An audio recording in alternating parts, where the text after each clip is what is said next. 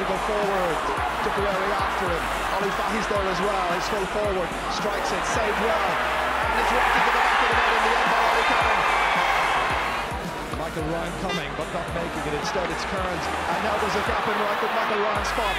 And it's Canning, and he.